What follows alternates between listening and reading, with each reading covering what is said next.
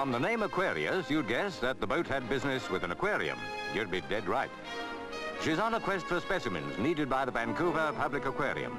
And only a few miles away in the Strait of Georgia, a rich harvest can be netted at the right time of the year.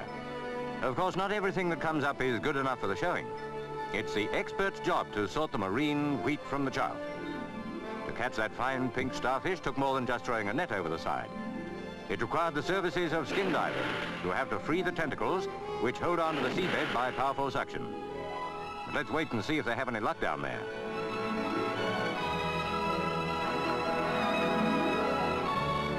Luck indeed. A small octopus, only 12 miles from Vancouver Harbor. It's only a baby, fully grown, it'll have a stretch of 8 to 10 feet. On board was the curator of the aquarium, and was he pleased?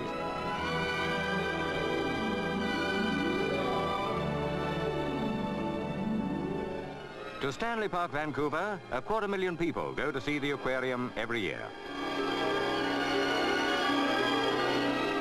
The giant lingcods, proving that looks aren't everything. The little octopus was safely introduced to his new home, probably to be attraction number one. He's friendly, but Master Crab decided on a quick change of quarters.